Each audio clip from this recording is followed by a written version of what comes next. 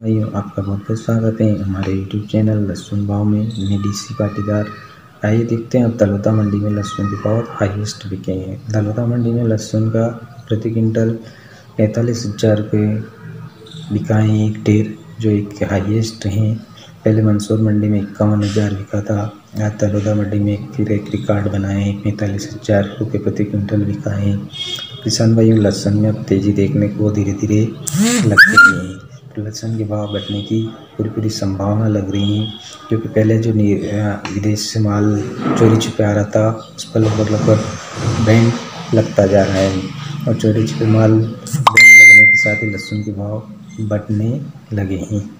तो दलोदा मंडी की आज की यही रिपोर्ट है कि एक डेढ़ पैंतालीस हज़ार रुपये प्रति क्विंटल के हिसाब से कमलेज का था जो बिका है।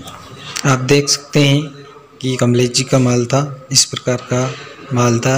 ये लहसुन की क्वालिटी इस प्रकार की थी, जो कि पैंतालीस हज़ार रुपये प्रति क्विंटल के भाव से बिका है अगर आपको मेरा चैनल अच्छा लगे तो अधिक से अधिक लाइक करें, सब्सक्राइब करें और शेयर करें, जिससे कि हम सही और सटीक